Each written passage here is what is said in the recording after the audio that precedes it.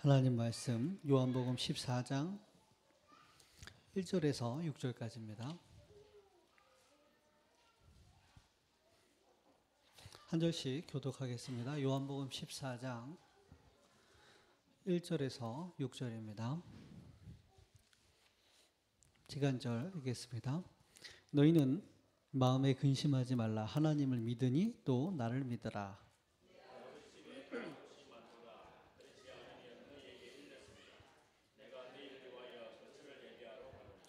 가서 너희를 위하여 거처를 예비하면 내가 다시 와서 너희를 내게로 영접하여 나 있는 곳에 너희도 있게 하리라.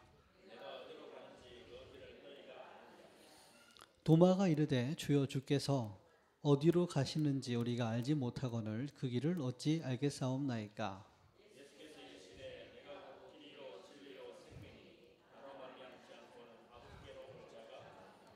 아멘.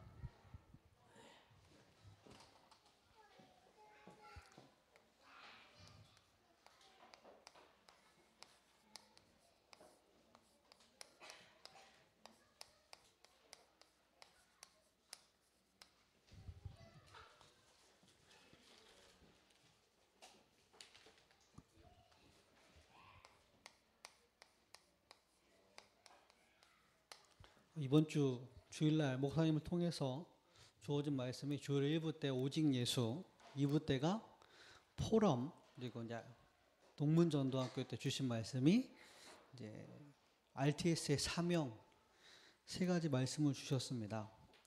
어, 목사님 오늘 금요 예배를 어떻게 할 거예요? 이렇게 문자를 보냈더니 말 없이 갔을 때 네가 알아서 하라는 것이다 해서 누구에게 부탁을 드릴까 사람을 정하는 가운데 지지난주 세동준사님 하시고 지난주 문준사님 하시고 순서가 저라고 하더라고요. 나이가 제가 또 제일 어리잖아요. 또 순종 순종하는 마음으로 섰는데 뭔가 이렇게 아 이거다 안 떠오르더라고요. 아 이걸 전해야겠다 안 떠올라서 올라오기 전까지 지금 서 있는 이 순간까지도 계속 고민하고 기도하다가 하나님께서 나를 왜 세우셨을까? 음, 참 부족한 사람이고 어, 참 모자른 사람인데 왜 세우셨을까? 이 앞에 서는 게 미안하거든요. 제가 뭐 되고 뭔가 좀 응답이 있고 증거가 있으면 괜찮은데 부족한 사람을 하나님 세우셨을 때는 부족한 사람을 통해서 하시고자 하시는 일이 있을 텐데 그게 뭘까 이렇게 고민을 했습니다. 하다가 어, 몇 가지 그냥 간, 간단한 이렇게 스쳐 지나가는 생각이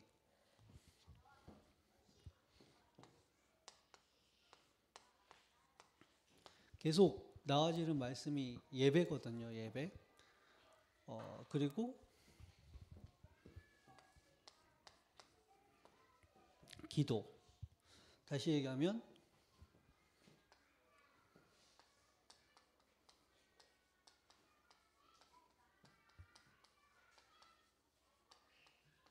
영적인 생활. 이게 마음에 이렇게 와 계속 이 생각이 났어요. 제가 뭐가 있어서 하는 얘기가 아니라 어, 우리가 구원받은 우리가 하나님의 자녀가 된 우리가 어, 가장 소중하고 가장 중요하고 어, 그런 일이 있다면 예배 아니겠습니까? 예배. 어, 세계 복음화 그리고 뭐 지역 복음화 그리고 우리 가문 복음화 하나님이 하시는 거죠. 하나님이 하셔야지 되죠. 내 업을 통해서 유일성의 응답이 오고 시간표 따라 스무 가지 비전의 응답이 오는 것 내가 하려고 해서 되는 게 아니고 또 내가 안 한다고 해서 안 되는 것이 아니라 하나님이 하셔야 되죠. 하나님 주셔야 되죠. 하나님 안 주시는데 내가 하려고 하면 안 되죠. 하나님 주셔야 되고 하나님 하려고 하는데 하나님께서 이미 모든 복음과 답과 메시지를 다 주셨는데 우리 측에서 해야 될 일이 뭐고 중요한 일이 뭘까 고민하다가 어, 또 오늘 시간을 두고 계속 고민하다가 제 마음에 와닿는 건 이거였어요. 예배와 기도였습니다.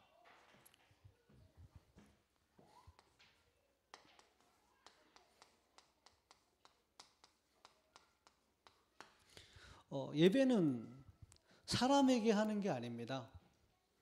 그죠? 저 때문에 드리는 것도 아니고 제가 여러분 때문에 이 자리에 쓴 것도 아닙니다. 하나님 앞에 섰고 여러분들은 하나님 앞에 모인 거고 저도 하나님 앞에 모인 겁니다. 누구 눈치 때문에 분위기 때문에 가야 하니까 갔다 불쌍한 사람이죠. 제가 전도사니까 교회 와야 되고 전도사는 교회 와야 돼요. 안 오면 안 되거든. 오기 싫어도 와야 되고 불신앙 들어도 누구 와야 돼요. 그렇게 온다면 얼마나 불쌍합니까? 제 인생이. 제가 그런다면 여러분들이 구원받은 게 감사하고 하나님의 은혜가 감사하고 하나님께 예배 드릴 수 있다는 게 감사하고 하나님께 찬양 드릴 수 있다는 게 너무나 감사하고 그래서 이 자리에 오면 얼마나 행복해요. 그죠? 사랑하는 사람 만나러 가면 얼마나 그 설레이고 기대가 됩니까? 사랑하는 사람 만났어요. 얼마나 좋습니까? 사랑하는 사람과 헤어질라니 너무나 아쉬워요. 그래서 결혼도 하고 그런 거 아닙니까? 여러분들은 사랑하는 사람과 살고 계십니까? 그 무슨 그 뭐지? 광고에 나오더라고요. 찐득이와 살고 있습니까? 사랑하는 사람과 살고 있습니까? 예. 여러분들은 예배를 사랑하는 주님을 만나 뵈러 오셨습니까? 아니면 습관적으로 오셨습니까? 아니면 안 오면 안 되니까 벌점 먹을까 봐 오셨습니까? 이게 되게 중요한 이 시간에 제게 주신 질문이었어요. 외배를 왜 드리지? 이 자리에 모인 사람들이 이 시간에 가장 중요한 게 뭐지?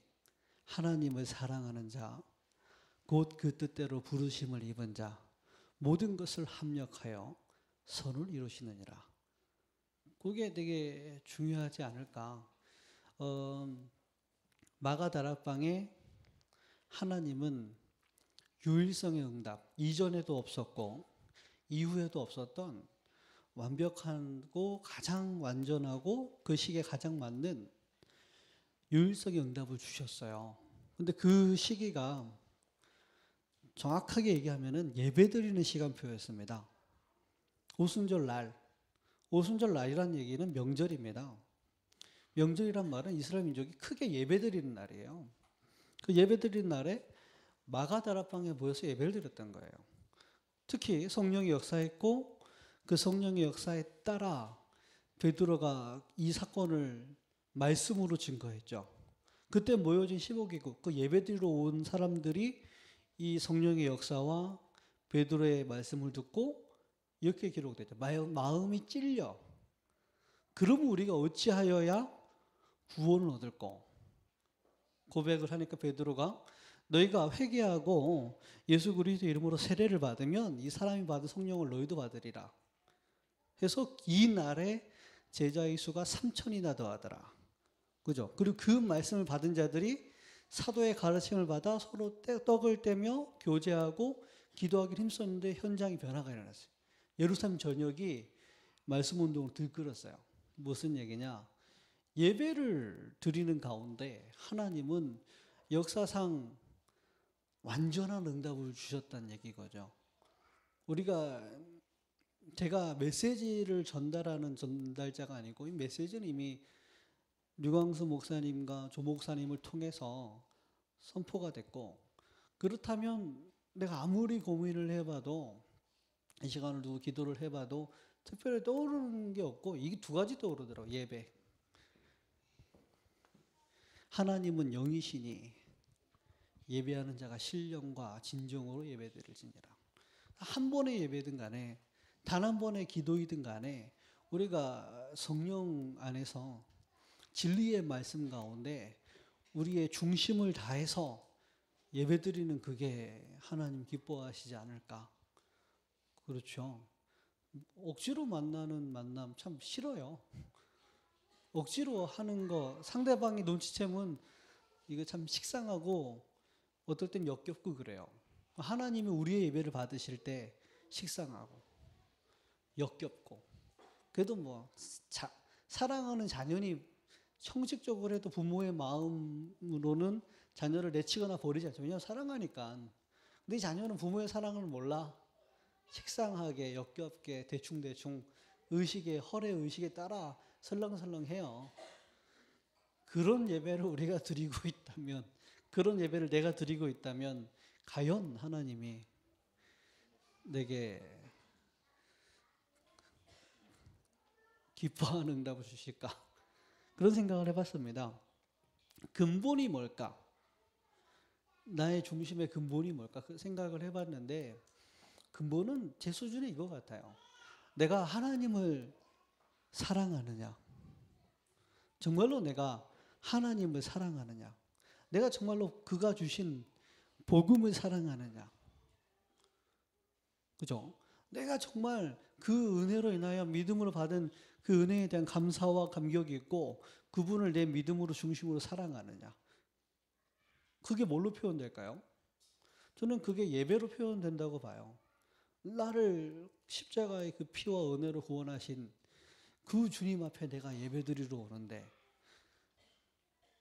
내가 복장이 틀릴 것이고 마음이 틀릴 것이고 그리고 시간 지키는 게 틀릴 것이고 찬양하는 게 틀릴 것이고 말씀 듣는 게 틀릴 것이고 내가 헌금하는 게 틀릴 것이고 말씀 붙들고 이후에 사는 게 틀릴 겁니다.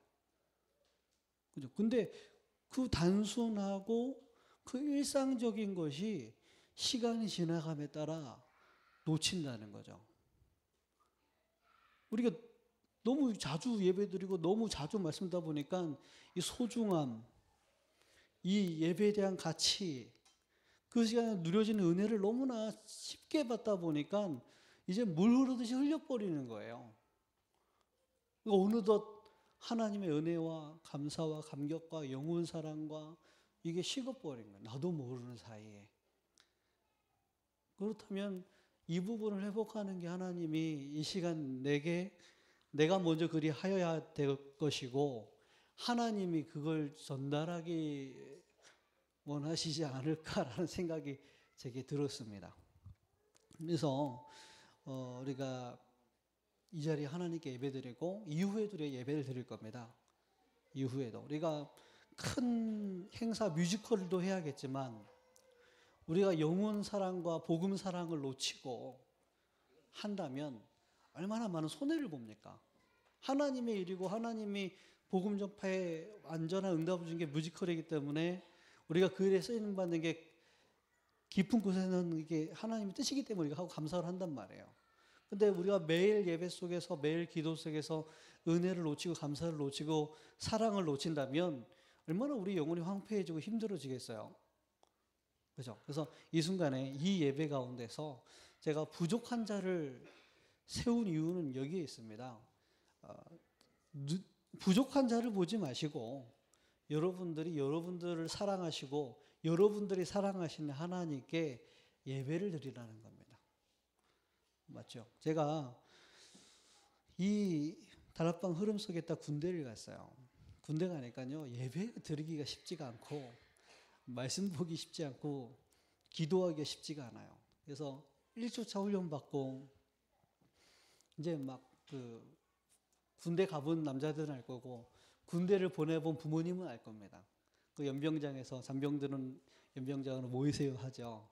그 이제 막밤 부모들이 박수 쳐주고 이제 막 갑니다. 그러나서 이제 딱 좌우로 정렬해서 다 사열 종대 모여 딱 돌아가서 안 보이는데 돌아가면 그때부터 욕을 시작합니다. 야이, 야 똑바로 안 해. 처음에 군기 잡는다고 일부러 세게 해요. 일부러 여기가 군대라는 거 보여주려고 세게 합니다. 응? 아직도 사회인 줄 아나 이러면서 막 그럼 그때 어 이게 군대구나 이래요. 그때부터 이제 본격적으로 막 정신 못 차리게 막 굴려요. 왜냐하면 세상 물을 빼고 군인 정신 집어넣어야 되기 때문에 그러면요 생존 교회 가, 안 가고 예배도 그렇게 소중하게 안 드리던 사람들이 군대 첫 주차 교회가 논산에 교회 가죠. 웁니다. 막 한두 명이 우는 게 아니라 다 울어.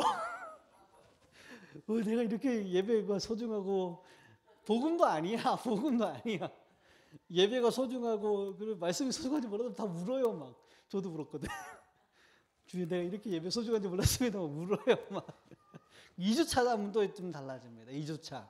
6주차 훈련인데 6주차 되면은요.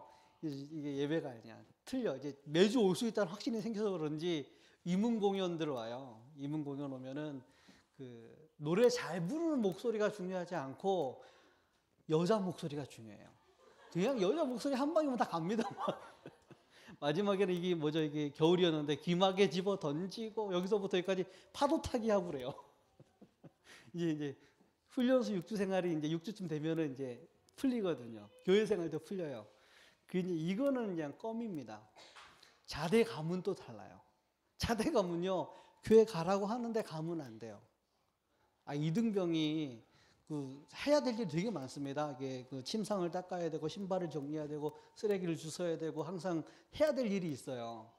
그게 꼭 점심 시간, 예배 시간, 그 잡초 제거하고 하는 작업하는 시간이 꼭 주일날이에요. 절대 가지 말라 말 안 합니다. 적극적으로 권유해요. 종교 활동 해라. 그런데 가면 안 돼요. 가고 나면 뭔가 묘한 분위기가 딱 서서히 삶의 압박이 조여옵니다. 그런 핍박과 소름 속에 또 자대 배치 가서 겨우겨우 교회를 가죠. 또 울어요. 하나님 내가 예배 중요한지 모르고 아마 신전도서도 많이 울었다 하더라고요. 예배 가지고 모르고 저도 이렇게 내가 이렇게 신앙이 좋은 줄 몰랐다니까요. 중국에 갔는데 중국에 갔는데 찬양을 마음껏 못 부릅니다. 찬양을 반주를 못 쳐요. 그 눈치 없게 막 크게 불렀다가 조용히 하라고 조용히 부르라고. 그래가지고 갑자기 신학교 덮쳐가지고 파일 답하고 그 안에 성경에서 쫓겨나고 그래요. 북한에 가서 이게 성경책 갖고 있는 거 걸리면은 불도저로 밀어 뿌린답니다. 그런데도 성경 아, 보, 지금 우리가 갖고 있는 복음 메시지도 아니에요. 이 성경 한 구절 안 놓치려고 요거 이거 쪽으로 저거 갖고 다니고 막 그렇게 은혜를 사모하고 예배를 사모하고 주님을 사랑합니다. 여러분들도 그런 시절이 있었죠. 많이 훈련되고 복음 많이 알았는데 지금 말고 처음에 복음 받고 예배가 좋고 기도가 좋고 말씀이 좋고 이게 기다려지고 사모가 되고 그때 받았던 응답이 지금 받은 응답보다 클걸요. 제가 그래요. 여러분 정말로 우리가 하나님을 사모하고 그 하나님을 만나는 시간이 예배 시간입니다. 예배 전 준비. 뭐를 준비해야 될까요? 마음을 준비하는 겁니다. 마태복음에 보면은 형제와 싸우고 왔느냐? 화목하고 와라. 왜 그러죠? 형제랑 화목하라는 얘기가 아니에요. 마음에 분기와 시기와 확기가 있으면은 예배 집중이 안 돼요. 예배 집중하기 위해서 마음을 준비하기 위해서 형제와 화목하고 오라 그 얘기입니다. 그러죠? 그래서 어, 우리가 많은 걸 잘해야 응답을 받을까? 그거 아니라고 생각해요. 오순절 날에 예배 한번 제대로 드렸는데 또 예배 잘 드릴 수밖에 배경이 준비됐겠죠. 그런데 하나님은 지구 역사상 가장 완벽한 응답을 주신 겁니다. 우리가 이 시간에 정말로 신령과 진정으로의 중심과 믿음과 진심으로 하나님께 예배드렸는데 하나님은 오랫동안 우리가 해결할 수 없었던 영적인 문제와 우리가 볼 수 없었던 우리를 향한 미션과 우리가 할 수 없었던 하나님의 능력의 응답의 문을 여시는 시간이 이 예배 시간일 수도 있어요. 누가 잘했고 못했고의 문제가 아니라 나의 영혼이 여호와를 향하여 일신 전심 지속으로 향하였는데 하나님이 그 믿음을 의로 여기시고 응답과 축복의 문을 열 수가 있는 겁니다. 이런 것들이 내가 예배 시간에 누려지고 내 홀로 정식기도 시간마다 누려지고 나의 삶 속에서 누려지고 내가 깊, 잠들기 깊은 시간에 누려진다면 이 은혜가 하나님의 사랑이 기쁨과 평안과 감사가 나의 삶을 애워싼다면 전도가 되고 안 되고 응답이 되고 안 되고가 기쁠 게 아닙니다. 그냥 기쁜 겁니다. 주님이 나와 함께 하시기 때문에. 그죠? 그게 그 행복감이 나를 사로잡는 겁니다. 그러죠? 하나님이 그러셨어요. 나는 너희를 치료하는 여호와이니라. 내가 애굽 사람에게 내린 질병을 너희에게 하나도 내리지 아니하리라. 그 전제 조건이 어디 있죠? 하나님이 우리와 함께 하시는 것을 우리가 누릴 때입니다. 그걸 뭘로 누리냐는 거죠. 그게 예배와 기도, 나의 평상시의 영적 생활입니다. 이걸 보고 24시라고 하죠. 또 이제 영적인 깊은 단계로 들어가면 이거를 25시라고 하죠. 근데 이게 그렇게 어려운 것일까? 중 스님이 무건 수행하듯이 입 다물고 깊이 뭔가를 명상하지 들어가야 되는 것일까? 그렇게 어려운 것일까? 아니면 금식을 해가면서 배를 골아가면서 뭔가 깊은 단계에 들어가야 되는 그런 것일까? 생각을 하다가 그게 아니라는 생각이 제 부족한 제게 부족한 깨달음이 있었는데 이거라고 생각이 들었어요.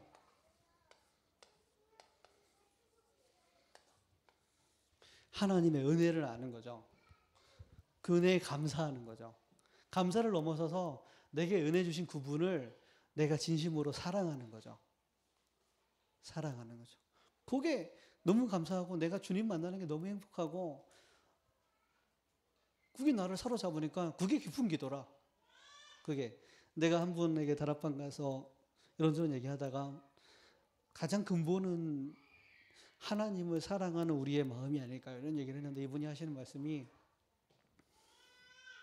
너무 오랫동안 그 말을 잊고 사는 건 아닌지요. 제가 기도할 때 가장 행복했던 순간이 언제냐면은 하나님, 제가 당신을 사랑합니다. 라고 고백했을 때 기뻤대요. 또 오랜 기간 그 고백을 할 수 없더래요. 뭔가 메인 게 하나님보다 더 사랑하는 게 많아서 그러신지 모르겠는데 오랫동안 하나님 당신을 사랑합니다라고 진정으로 고백을 못 하겠더래요. 그러다 어느 어느 순간부터인가 내가 하나님을 사랑합니다. 라고 고백할 수 있게 됐더래요. 그때가 이렇게 행복했대요. 여러분들은 언제 행복하십니까? 예배가 뭘까요? 요거죠. 사랑. 하나님의 은혜를 알고 그 은혜의 보좌 앞에 내가 나아가는 겁니다. 사랑하는 주님 앞에. 그렇죠. 예배에 여러분 어, 사랑하는 주님 만나 뵙기를 바랍니다. 마음속에 알게 모르게 상처받고 어렵고 힘든 일 있으십니까? 여러분들의 모든 걸 치유할 수 있고 답을 줄 수 있고 힘을 줄 수 있는 여러분들을 사랑하시는 주님 앞에 나아가시기 바랍니다. 그 사랑을 받으시고 여러분들의 사랑을 고백하시고 그 사랑에서 주시는 은혜와 힘을 얻으시길 바랍니다. 전도하기 전에 우리가 현장에서 미션을 이루시기 그 전에 여러분들의 영혼이 힘을 얻으시길 바랍니다. 신명기에 보면 그러잖아요. 우리 하나님 여호와는 오직 하나이신 여호와이시니 너는 마음을 다하고 뜻을 다하고 힘을 다하여 내 하나님 여호와를 사랑하라. 근데 그 단순하고 분명한 그 진리가 당연한 진리가 잊혀지고 놓쳐지는 거예요. 뭔가 하나의 프로그램으로 예배가 이렇게 이렇게 예배드리고 이렇게 이렇게 정식기도를 하고 이렇게 이렇게 무식기도를 하고 이렇게 이렇게 호흡기도를 하면 이렇게 이렇게 성령의 충만함이 임하고 이렇게 이렇게 해서 문이 열리고 무슨 프로그램 컴퓨터 프로그램도 아니고 사람이 그런 거 아니잖아요. 우리가 계산이 안 맞아도 마음이 통하면은 내 돈 씁니다. 계산이 맞아도 내 마음에 안 들면은 세상에 제일 무서운 죄는 괘씸죄예요. 괘씸죄. 마음이 안 들어. 나이도 어른 것이 말하는 것도 마음에 행동도 마음에 하는 집은 싸가지가 없고 지밖에 모르고 냄새가 나고 그런 것을 하는 거는 또 실수도 없고 빈틈이 없네. 잘하는 게 더 얄미워. 안 그렇습니까? 저는 그래요. 아, 잘 못하고 부족한데 요 놈이 나를 좋아해. 나를 믿는 것 같아. 그러면요 계산 필요 없어요. 그냥 있는 대로 주고 잘하고 그러는데 이것이 뭔가가 싸가지가 없어. 개심죄에 걸려서 X. 잘하는 게 더 미워. 막 트집 잡고 하면 그것도 못하냐 믿고 그래요. 개뿔도 못해도 이게 내 마음에 들어. 그러면은 모든 게 만사 오케이. 하나님은 안 그러실까요?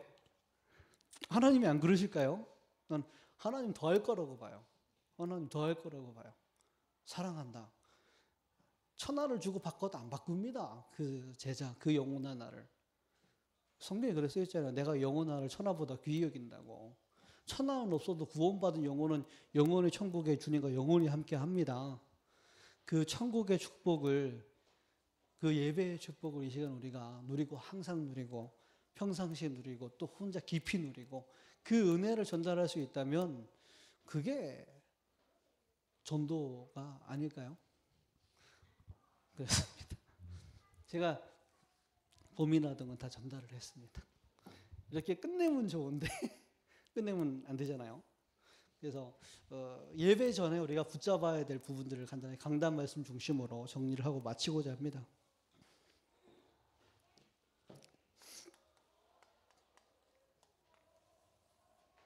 어, 교회사, 한국 교회사 이야기를 하셨어요. 처음에 말씀 운동이 일어났었죠. 그리고 기도 운동, 다시 한번 신비주의가 일어났었죠. 그리고 제자 대학에서 선교 단체가 일어났었죠. 그리고 교회 안에 제자 운동이 일어났었죠. 이 모든 게 그리스도 중심으로 일어나지 않다 보니까 말씀 운동이 틀린 게 아니라 율법주의로 흘러가고요. 기도가 불건전 신비주의로 흘러가고요. 뭔가 선교단체 이런 운동이 처음엔 전도운동으로 흘러갔지만 이들만의 공동체, 교회에 들어가면은 교회에 적응을 못해요. 무교회주의. 이 제자운동이 지식운동 또는 박애주의나 다른 운동으로 흘러가는 겁니다. 왜 그러느냐? 우리에게 와진 문제가 영적인 문제이기 때문에 말씀이 좋은 것이지만 그리스도 중심의 말씀이 아니면 영적 문제는 해결이 안 되는 겁니다. 그리스도 놓치고 영적 문제 가진 우리가 계속 말씀 말씀하면은 여기로 갈 수밖에 없어요. 맞고 틀리고 맞고 틀리고. 자, 우리에게 와진 문제가 영적인 문제이기 때문에 그리스도 중심의 기도 운동이 아니면 결국 분근전 신비주의로 갈 수밖에 없는 겁니다. 그리스도께서 능력으로 역사해야 되고 그리스도가 깊이 묵상돼야 되는 것이지 우리에게 와진 영적인 문제가 영적인 문제이기 때문에 그리스도 중심의 선교 운동이 아니면 결국은 무교회주의로 갈 수밖에 없습니다. 그리고 그리스도 중심의 제자 운동이 아니면 또 하나의 지식 운동이요, 또 하나의 다른 박애 운동이요, 또 하나의 프로그램으로 갈 수밖에 없는 겁니다. 이게 한국 교회에 하나님 큰 은혜를 주셨지만 하나님이 다락방을 이렇게 준비하신 이유는 뭐냐면 그리스도 중심으로 이 모든 것을 살려내라는 것입니다. 이 일에 하나님 다락방을 증인으로 세웠죠. 그리고 이 일에 우리 초대교회를 특히 조 목사님을 증인으로 세웠죠. 어, 그래서 제가 그때는 없었는데 초창기에 다락방 2단 정제 받기 전에 한국교회 진짜 불같이 바다가 확 번졌어요. 왜냐하면 지금까지 이거 했단 말이에요. 한국교회가요. 이거 한국교회가 해왔던 흐름이잖아요. 이걸로 안 되던 부분을 그리스도로 답이 증거되니까 일시에 확 일어난 겁니다. 일시에. 그렇습니다.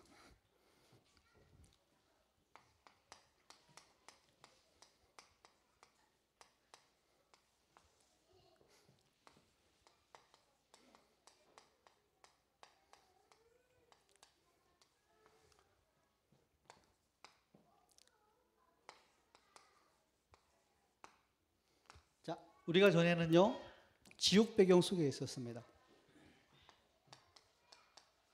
창세기 1장 2절에 흑암운동 공호가 창세기 3장의 원죄로 창세기 6장에 가문을 타고 네피림 시대로 창세기 11장에 개인의 성격과 체질과 인격 속에 들어왔죠. 이것이 창세기 13장, 16장, 19장에 지역의 가문의 문화를 타고 창세기 불신자 여섯 가지 상태로 우리 삶 속에 찾아왔습니다. 이게 어느 날 갑자기 온 문제가 아니라 영세전부터 왔던 문제요. 창세기 3장부터 흘렀던 오래된 문제입니다. 그래서 갑자기 해결되지 않아요. 갑자기. 그래서 우리의 답이 뭐냐? 1장 1절 그리스도. 다 아시죠? 1장 3절 하나님의 나라. 1장 8절 성령 충만합니다.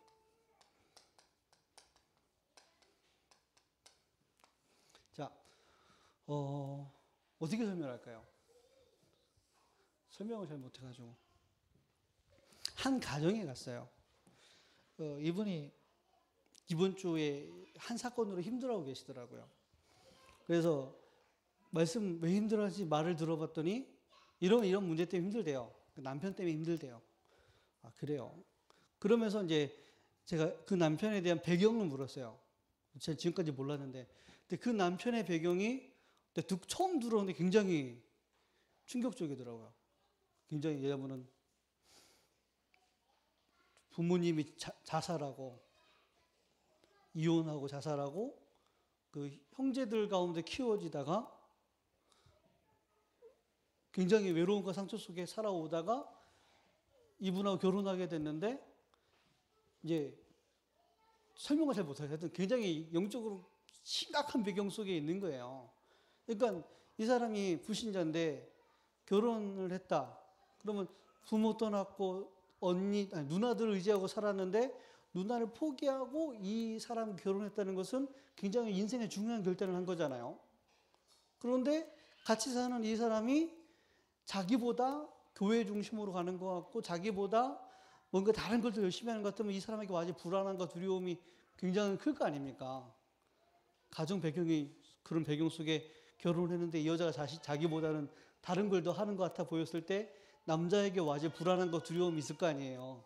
사단이 이거 붙잡을 거 아니에요. 근데 이 사람이 이 남자가 이분에게 뭐를 이렇게 하지 말라 얘기를 했는데 제가 봤을 때는 굉장히 여자를 사랑하고 배려하는 얘기라 많이 참았어.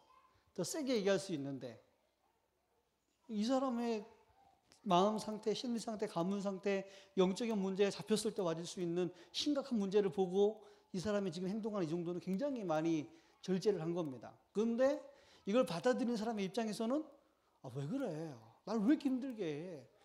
아, 나를 못 믿어? 이렇게 느껴질 수 있는 거예요. 그런데 전체 얘기를 들어보고 제 생각에는 이분이 굉장히 배려를 많이 한 거, 많이 사랑하는 것 같다. 미워하는 것 같지 않고 오히려 되게 아끼고 자식이 마음속에 올라오는 이런 여러 불안함과 두려움들을 이렇게 있는데 이렇게 참는 것 같다 이렇게 얘기를 했어요. 무슨 얘기 하려고 그러자 이 그게 되게 오래된 문제라는 거죠. 오래된 문제라는 얘기죠. 어느 날 갑자기 문제가 오는 게 아니라 이 오래된 문제가 가문, 가정, 자기 성장 배경, 체질 속에 알게 모르게 각인되고 뿌리되고 체질이 돼가지고 올라오는데 이게 그냥 해결이 안 됩니다. 그렇다면은 그리스도를 어떻게 깨달아야 됩니까? 과거의 각인 체질 뿌리가 바뀐 만큼 깨달아지고 뿌리 내려져야 되고 답이 내려져야 됩니다. 이게 과거가 발판이 되고 감사가 될 만큼 깨달아지면 그 발판을 가지고 하나님이 나를 통해 하실 하나님 나라의 일이 딱 보이기 시작해요. 요 속에 빠져 있는 한 이게 안 보여요. 왜냐? 원망, 불평, 불신앙, 불안, 두려움, 시기, 질투 여러 가지 두려, 이 속에 거하기 때문에 안 보이는 거예요. 내 문제 해결이 급하다니까요. 근데 그리스도께서 이 문제 해결했다고 믿어지고 누려지고 여기서 진정한 감사와 발판이 되어지면 그때 여기 딱 보여요. 하나님이 이런 가문 속에 나를 부르신 이유, 이런 가정 속에 나를 두신 이유, 하나님 이런 현장 속에 나를 지금 보내신 이유 보인다니까요. 그래서 내가 그분에게 그랬어요. 굳이 얘기 참 힘든데 그냥 딱 속 시원하게 얘기해버리면 쉬운, 쉬운데 이렇게 둘러 얘기하니까 힘들어요. 이분의 가정 배경을 보니까 그 남편분의 가정 배경은 똑같아. 똑같아. 근데 자기는 그런 가정이 싫어서 도망치듯 결혼한 거예요. 불신자 결혼을. 근데 자기랑 똑같은 가정과 만나진 거예요. 영적인 건 도망갈 수가 없지. 결혼 그런 가정 싫어서 도망쳐서 결혼했는데 그런 가정이라. 그런 가정이라. 그러면 하나님 왜 그걸 시켰겠어요? 과거를 발판 삼고 그 갈판을 가지고 이 가정이 남편과의 가정의 증인으로 서라는 얘기잖아요. 당연한 미션이 보이잖아요. 근데 내가 똥차 피하려다 쓰레기차 피하려다 똥차 만났다 이렇게 돼버리면 이게 원망 불평이라. 그런데 이런 가정에서 내게 복음을 받게 하셨고 결혼해서 왔는데 또 그런 가정이 또 이 현장에 증인되라 하신 하나님 계획이 있는 거잖아요. 왜 하필 이런 남자를 만났습니까? 왜 하필 저런 여자를 만났습니까? 그 깊이 생각하지 말고 당연하게 보세요. 당연한 만남입니다. 당연한 만남입니다.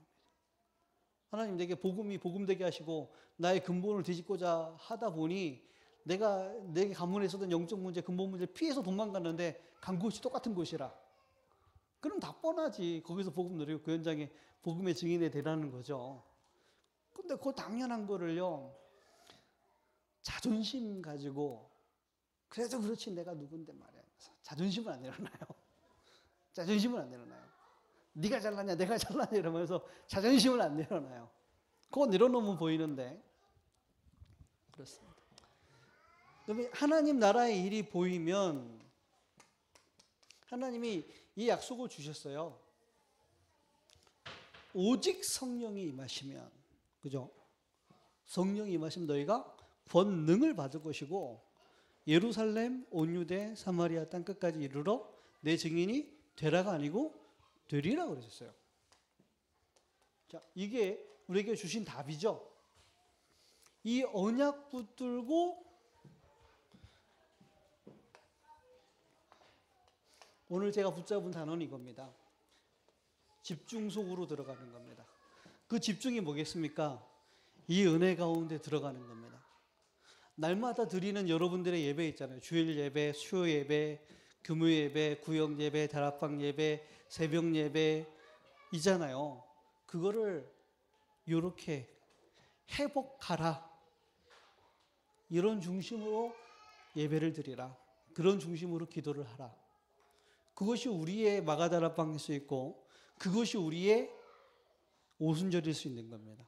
그렇죠. 이걸 우리 하나님 앞에서 우리가 이걸 회복하자 그 얘기입니다. 이 집중을 회복하자는 얘기입니다. 근데 메시지가 계속 이렇게 흘러요. 예배, 기도, 아침, 점심, 밤. 계속 메시지 이렇게 흘러요. 우리의 영적 생활. 여기까지는 내가 하는 겁니다. 24시는 나의 삶을 가지고 내가 가진 시간, 내가 가진 물질, 내가 갖고 나의 생각, 내가 갖고 있는 나의 마음을 드리는 겁니다. 하나님께. 내 생각을 드려야죠. 하나님께. 생각은 딴 데가 있고 몸만 있으면 됩니까? 내 마음을 드려야죠. 마음은 저기 드라마 한테 가 있고 이 자리에 앉아 있으면 됩니까? 내 중심과 물질을 드려야죠. 그렇죠. 내 몸을 드려야죠. 이 자리에 와야 되잖아요. 아닙니까? 그리고 그 내 24시를 드리는 겁니다. 하나님께. 달라가 아니라 나를 당신께 드리는 겁니다. 24시. 진심으로. 그런데 하나님이 우리에게 주시는 건 25시의 축복입니다. 나의 삶과 나의 기준과 나의 모든 걸 넘어서서 역사하는 겁니다. 요걸 맛본 사람은 25시를 맛본 사람은 나의 24시 드리는 게 드리면서 감사하죠. 그죠? 25시를 맛본 사람이에요, 우리는. 우리는 25시를 알잖아요. 마가의 다락방의 역사를 알잖아요. 25시를 알잖아요. 그러니까 나의 24시 드리는 게 아깝지 않잖아요. 25시를 받아 먹으려고 24시 드린다는 건 아니지만 24시를 드리면 25시가 오잖아요. 저는 이게 맞다고 봅니다. 내 영적 상태가 열심히 해야겠다가 아닙니다. 주를 만나 뵙는 그 시간이 내 기쁘고 즐거운 겁니다. 주의 말씀 속에 은혜 속에 거하는 그 순간이 행복하고 너무 좋은 겁니다. 내게 주신 이 은혜를 나와 가까이 있는 사람과 나누는 게 이걸 모르는 사람이 전달하는 게 그게 행복한 겁니다. 내가 이것을 이렇게 해야 되는데 이 사람이 나를 이걸 안 도와주기 때문에 아우 이걸 어떻게 하면 좋겠나 하나님 이게 뭡니까 여기 아니고 내게 주신 은혜가 너무 크고 놀라고 감사해서 요건 모르는 게 너무 안타까워서 말해주는 겁니다. 항상 이 은혜 속에 내가 사는 겁니다. 이것도 못하나 똑바로 해야지 말이야. 그게 이제 어디 갔습니까? 요거. 이 은혜 속에 내가 거하는 겁니다. 그리스도께서 주시는 그 은혜. 그 은혜를 내가 누리는 게 하나 나의 미션입니다. 내가 나의 행복 가운데 거하는 게 나의 미션입니다. 24시 행복 속에 거하는 게 나의 미션입니다. 뭐지 성경 말씀인데 좋아하는 말씀 중에 하나가 어, 너희를 향한 나의 생각은 재앙이 아니요 곧 평안이라 너의 장래에 소망을 주려는 생각이니라. 현실 문제, 환경 문제 이런 문제 보면서 재앙이 온 것 같고 나는 이제 다 끝난 것 같고 실패한 것 같은데 하나님 말씀하시기를 너희를 향한 나의 생각은 재앙이 아니다. 평안이다. 너희 장래에 소망을 주려는 생각이다.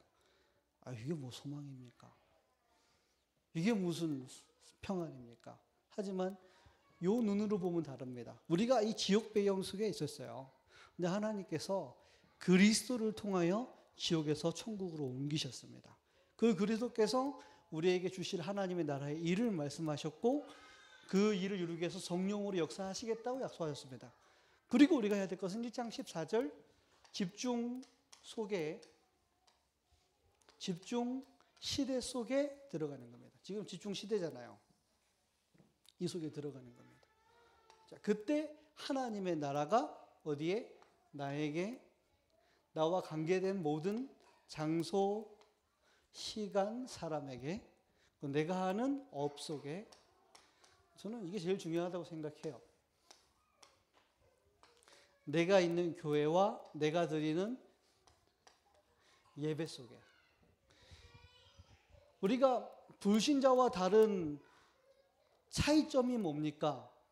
두드러지게 드러난 육신적 차이점이 뭡니까?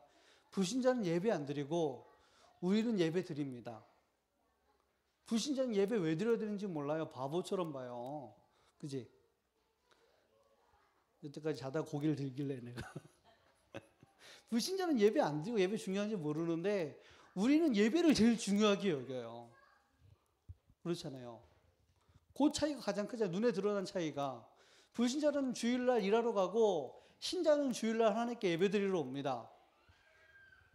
그죠? 모든 시작을 예배로 시작합니다. 이 차이가 가장 큰 차이가 아닌가 싶어요. 결론.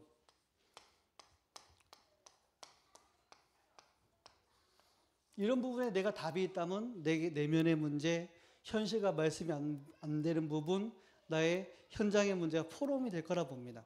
제가 한 포럼은 이거예요. 이거예요.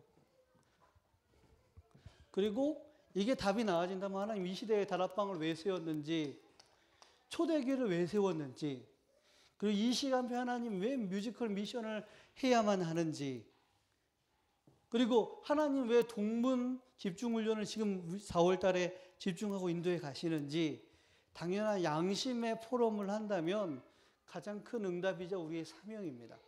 그럼 이걸 두고 나는 어떻게 예배 드릴까?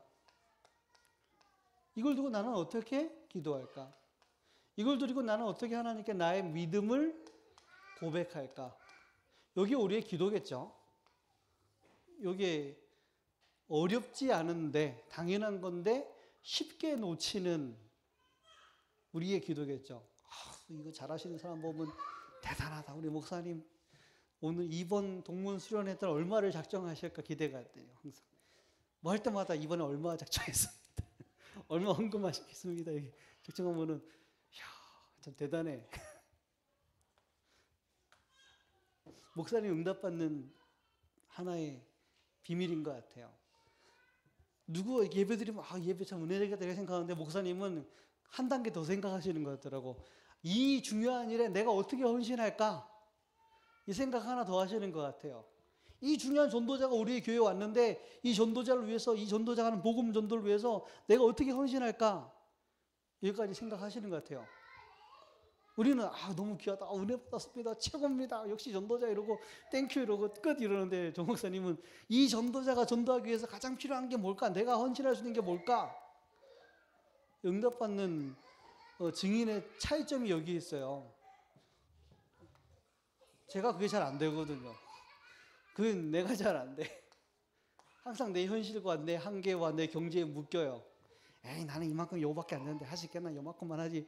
이게 난데 노사님은 나랑 다른 게 뭐냐면 이번에 동문전도 그때 아 이걸 두고 내가 하나님 앞에서 이게 이, 이 중요한 일에 내가 헌신할 부분이 뭘까? 이런다니까요. 그건 은혜를 아는 자. 지금 이 일이 얼마나 중요한지 아니까 거기서 나아지는 포럼과 거기서 나아진 사명과 거기서 나아진 헌신, 참된 예배.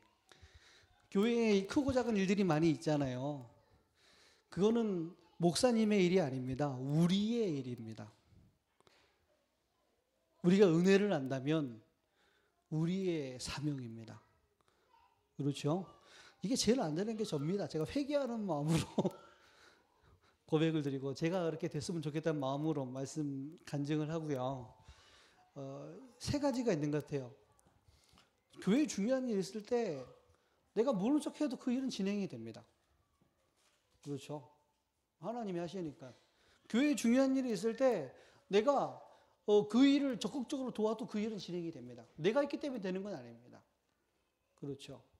근데 교회에 중요한 있을 때 모두가 교회에 중요한 일에 하나가 된다면 하나님은 출애굽과 출 바벨론과 출 로마의 역사를 새롭게 이루십니다. 그게 예배 아니겠습니까? 예배가 종교적 형식적 예배도 있겠지만 우리의 중심과 우리의 마음과 우리의 삶과 우리의 물질과 우리의 한 마음을 담아서 하나님께 드리는 겁니다. 그래서 이 시간 그리 됐으면 좋겠고 또 이 뮤지컬이 그리 됐으면 좋겠고 우리 여러분들이 드리는 모든 지역 예배, 다락방, 현장 새벽 예배가 이렇게 됐으면 좋겠습니다. 예, 김경걸 장로님께서 마지막으로 기도해 주시고 예배 주기도문 예배를 마치겠습니다.